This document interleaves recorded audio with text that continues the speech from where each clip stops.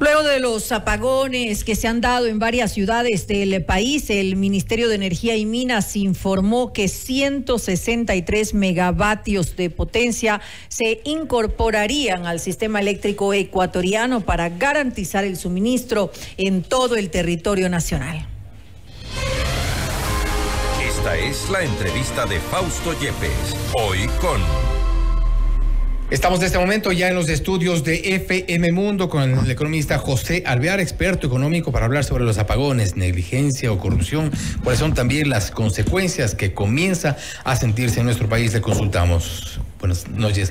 José, bienvenido. Fausto, buenas noches. Una pequeña aclaración, no soy economista pero podemos hablar sin problema del Perfecto, perfecto. Sí, estamos eh, justamente con el tema de, la, eh, de los apagones. Se había dicho inicialmente que los no habrá apagones al menos hasta noviembre de este año.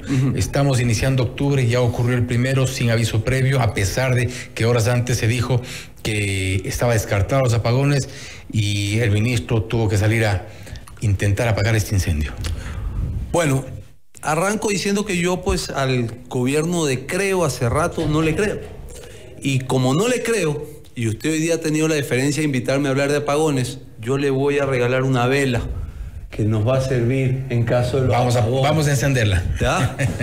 Entonces, este, los apagones son producto de no de una emergencia, sino de una negligencia que deja muchos aires de que las cosas se han hecho mal e irregularmente. La justicia y los organismos de control a quienes vamos a ir tendrán que determinar si hay esta sospecha de corrupción, si, si se concreta esta sospecha de corrupción que nosotros estamos planteando. ¿Por qué sectores o por dónde podría haber estas sospechas de corrupción? Tomando en cuenta que hay un estiaje, hay una sequía, en algunos casos impredecible, se aceleró, dijo el, ministro, no era predecible que ocurra tan temprano eh, y parece que les cogió, eh, no les cogió preparados. Entonces, eh, por ahí un tema y por otro lado también no haber previsto la reparación de las termoeléctricas? Vea, el ministro en el mismo acuerdo que firma ayer, que si usted no lo tiene, Fausto, yo con todo gusto se lo doy. El ministro, el mismo acuerdo que firma ayer, sale pues que el SENACE en febrero de este año les ratificó, les reconfirmó que iba a haber un fenómeno del niño y un estiaje bastante particular, bastante fuerte. Entonces tenían tiempo suficiente para prepararse. Por otro lado, el señor Gonzalo Quillas, que ha sido gerente de SELEC, no de ahora, desde la época de Rafael Correa, luego Lenin Moreno y ahora Guillermo Lazo, lo primero que hizo en el 2021 fue decir que para evitar problemas de apagones, habría que invertir 80 millones de dólares en nuestro vetusto parque de termoeléctricas. Y que si se invertía para el mantenimiento de las termoeléctricas, no íbamos a sufrir apagones, porque estiajes, Fausto, hay todos los años. Todos los años hay estiaje. Es una época del año de cuatro meses donde bajan los volúmenes de agua y obviamente eso se conoce como estiaje y eso genera problemas para generar energía a través de las hidroeléctricas. Pero las hidroeléctricas no son la única vía para generar energía. Usted tiene proyectos eólicos, usted tiene proyectos fotovoltaicos, usted tiene proyectos hidroeléctricos, tiene termoeléctricas y tiene gas natural, que aquí está el meollo del asunto. Y aquí es donde empiezan a jugar los intereses creados. Entonces, esta gente estaba preparada, estaba anticipada de lo que se venía. Sabían que venía el estiaje, debían hacer eso, no lo hicieron y ahora la gran solución que nos dan nos va a costar altísimo a los ecuatorianos, porque vamos a gastar 100 millones de dólares mensuales comprándole energía a nuestro vecino de Colombia, que de paso no es una contratación de gobierno a gobierno, es a la empresa privada en Colombia que ya nos fue diciendo, mira, no te puedo garantizar que te voy a abastecer todo el estiaje. Puede ser que en algún momento no lo pueda hacer o puede ser que te tenga que subir el precio. ¿Qué significa esto? Significa, Fausto, que si nosotros estamos acostumbrados, o sea, el costo promedio del kilovatio que pagamos los ecuatorianos, el promedio entre hogares, parte industrial y todo, no pasa de 10 centavos el kilovatio. Con esto vamos a pagar 35 centavos el kilovatio. ¿Sabes lo que eso significa? Que la planilla de luz nos va a subir a todos. Porque por más que ellos digan, que yo personalmente no les creo, que esto no nos va a costar, nos va a costar. Y si ellos dicen que esto es subsidiado, usted y yo sabemos que el subsidio no significa que es gratis significa que alguien lo paga al final del día, se inventarán la forma. incluso es importante también tomar en cuenta que los niveles de generación eléctrica, tanto de las hidroeléctricas como la importación que se hace de Colombia, ya comenzaron a mostrar unos, unas cifras preocupantes. Es decir, comenzó a producirse, a generarse menos energía en nuestro país eh, de la energía eh, renovable, de las hidroeléctricas, para que se comprenda mejor, y a importarse más de Colombia. Esto ya ocurre desde hace más de mes y medio. Las cifras comenzaron a incrementarse en cuanto a la importación. ¿Debió ya para entonces tomarse estas previsiones? Es decir, en este momento no deberíamos tener la opción de apagones. No, no deberíamos ni tener apagones y no deberíamos estar pagando 100 millones de dólares al mes para comprar energía, porque ellos la indisponibilidad, que es el término, que de energía es de 1.700 watts, megawatts. Y ellos ya lo sabían. Son 1.000 por parte de las hidroeléctricas que, como usted bien dice, presentan problemas y 700 por parte de las termoeléctricas. Esto se pudo haber solucionado sin tener hoy en día que gastar 100 millones por mes. Es una locura. ¿Cuál era la solución? Y, alguien tiene que responder por esto. ¿Cuál era la solución? La solución era darle el mantenimiento. Primera solución parche, darle mantenimiento a las termoeléctricas. Con lo cual no hubiéramos sufrido ni apagones ni tendríamos que ir a pagar energía tres veces más cara. Primera solución parche. Segunda solución inmediata. Tendrían que ya activar en la parte de generación de energía las licitaciones de el, eh, del gas natural. Del gas natural de 440 megawatts, otra licitación de 600 megawatts que costaba 800 millones de dólares, la licitación para la hidroeléctrica de Santiago y Cardenillo, la una de 580 megawatts, la otra de 2.400 megawatts, que estamos hablando de inversión de 5 mil millones de dólares, en, en transferencia, la concesión de la licitación para la concesión del cable de transmisión nororiental, aumentar la transmisión para el sector industrial, para el sector camaronero, terminar ese proyecto de transmisión de Chorrillo, eh, Chongón, eh, eh, Pozorja, Santa Elena. Y en cuestión de distribución, simple y sencillamente nuevos sistemas de medición de distribución, nuevas distribuidoras, protocolos para medir el fraude en la distribución. O sea, esas son las inmediatas. Y la que es a mediano y estructural para siempre, Ecuador tiene que empezar la transición de combustibles líquidos a gas natural, porque en ese momento el país se va a ahorrar por lo menos mil millones de dólares. No es que ya no vamos a tener que importar combustible que a la larga el Estado lo subsidia. ¿Por qué el gas natural? Porque el gas natural, más allá de la reserva que tenemos en el campo Amistad, pero igual si lo importamos, Fausto, resulta como característica general menos contaminante que el diésel, como característica general menos desgastante y un detalle no menor 40% más barato que el diésel. No, no contentos con eso, nuestras autoridades, si usted lee el acuerdo, nuestras autoridades están poniendo, están dando una viabilidad a consumo de diésel y lo más preocupante, a consumo de full oil, que es más contaminante que el diésel. Y eso va a ser un serio problema. No sé quién, no sé qué, qué ministerio le va a dar los permisos ambientales. ¿Será entonces ya un problema que deberá asumir y prácticamente medio camino el, nuevo gobierno, cualquiera que este sea, porque en, este gobierno estamos hasta diciembre y no habrá una solución, al menos de corto plazo, que resuelva el problema. No va a haber una solución a corto plazo, la única que ellos han buscado es la de comprar energía más cara. Porque si a Colombia y a Perú. A, a Colombia y a Perú, porque si usted sigue leyendo ese acuerdo, que es vergonzoso que haga el ministro de Energías, en el artículo 10 habla de que el gas debe llegar hasta noviembre, que van a hacer una importación de gas de 45 millones de metros cúbicos para potenciar Termomachala. Vea, Fausto, no comamos cuento. Cualquiera que está en negociaciones de gas sabe que una importación de gas toma al menos el proceso seis meses. Seis meses. Ellos dicen, no, ya hicimos una compra de 54.4 megawatts que hemos pagado 65 millones de dólares haciéndole a la compra a la Hyundai. Primero dijeron que era una contratación directa, ya va a ver por qué le hago este comentario. Después dijeron que no, que lo compraban a un intermediario. ¿Usted sabe en cuánto están comprando el megawatt a la Hyundai o al intermediario? Que yo sé que es al intermediario. En 1.194.000 dólares el megawatt. ¿Sabe cuánto cuesta el megawatt en el mercado? 740.000 dólares. Entonces ya hay un exceso ahí que llama mucho la atención, más la presencia de un intermediario que se llama HIH, porque los números me arrojan que hay un sobreprecio de 15 millones de dólares. Entonces daría la impresión que estos malos funcionarios, antes de irse, están haciendo sus navidades, como dicen en las calles. Y realmente es indignante. Alguien tiene que responder por esta negligencia con aires de corrupción.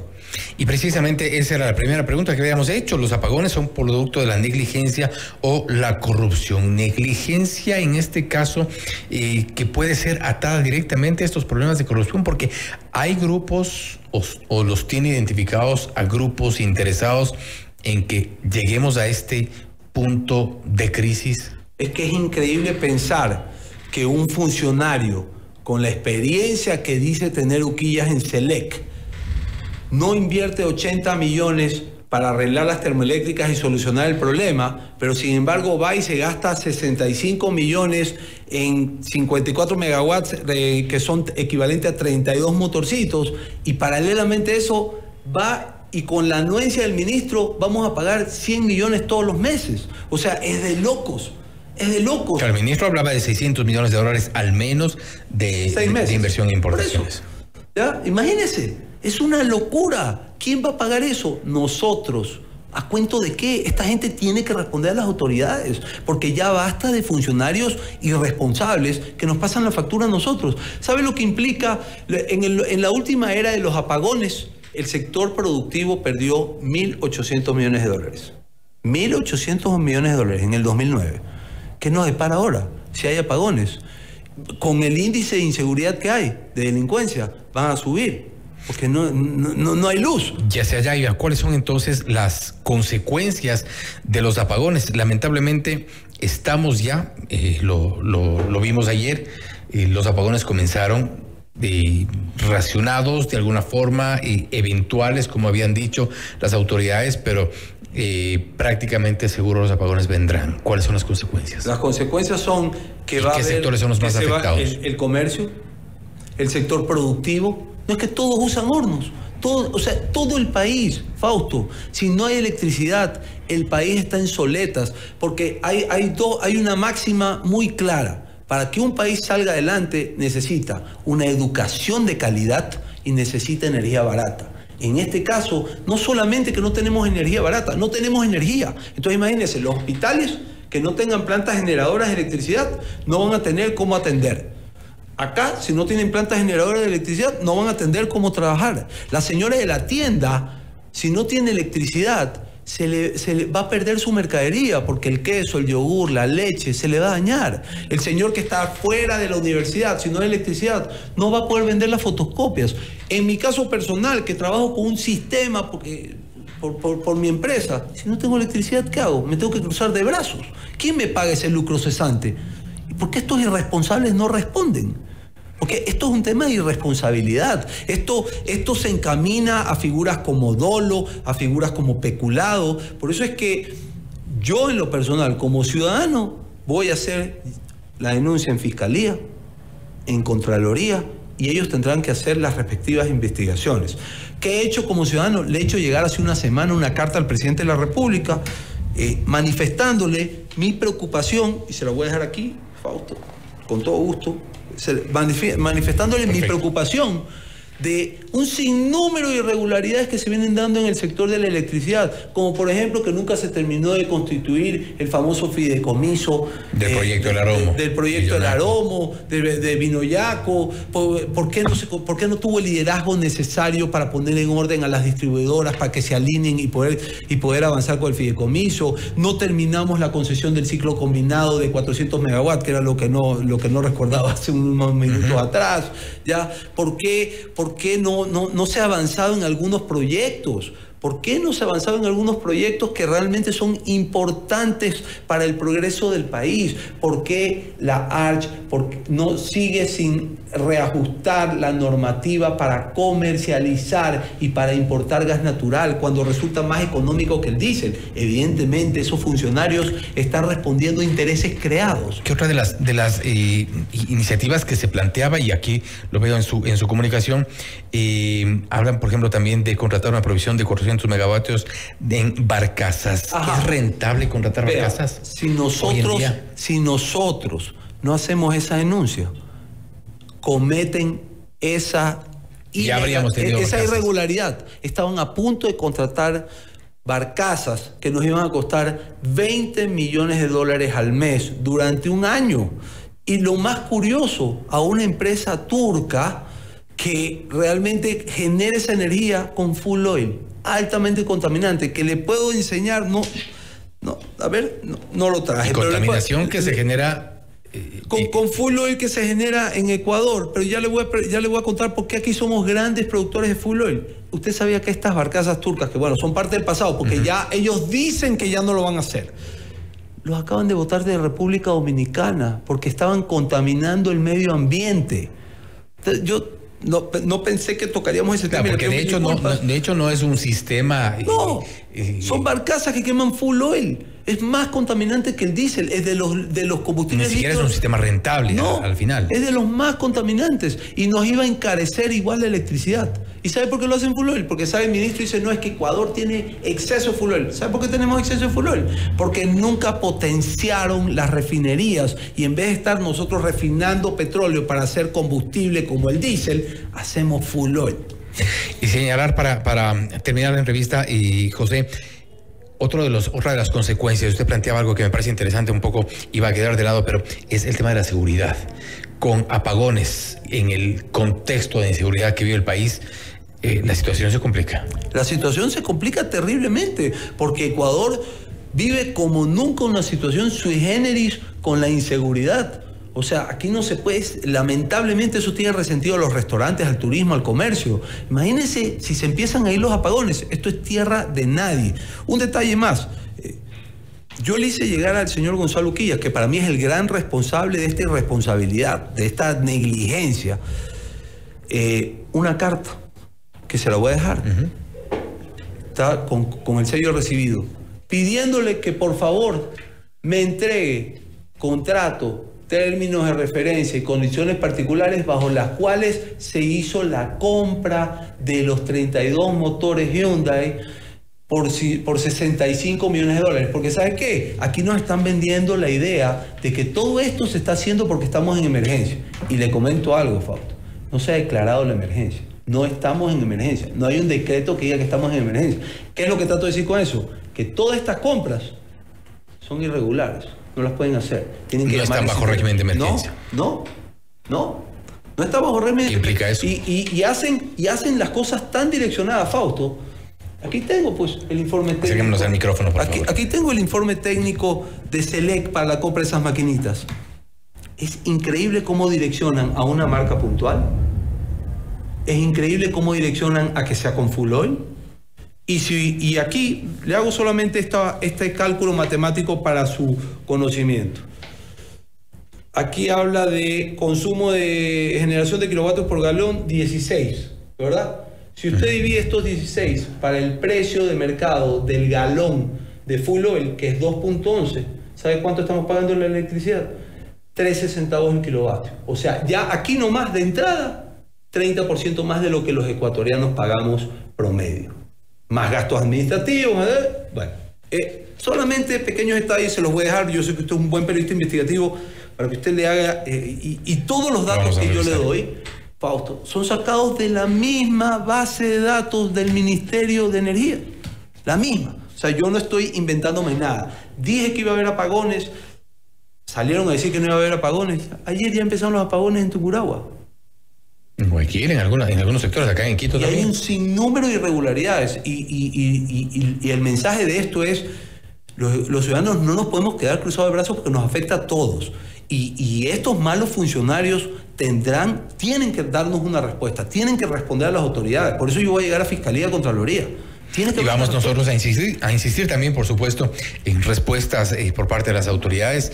Eh, seguro convocaremos a las autoridades para que también nos cuenten cuál es el plan que tienen para evitar en unos casos eh, los apagones o al menos minimizarlos si la situación ha llegado al punto de no retorno. Gracias, José, nuevamente. Fausto, un honor, muchas gracias por considerarme y aquí estoy a las órdenes cada vez que lo necesite. Gracias. Ha sido José Alvear, experto económico, hablando sobre los apagones, negligencia o en las autoridades. Él ha señalado que son las dos respecto de la falta de toma de decisiones en algunos casos que nos ha traído hasta acá, a llegar ya a los apagones. Los temidos apagones llegaron lamentablemente a nuestro país. Esto es Notimundo Estelar, siempre bien informados. Noticias, entrevistas, análisis e información.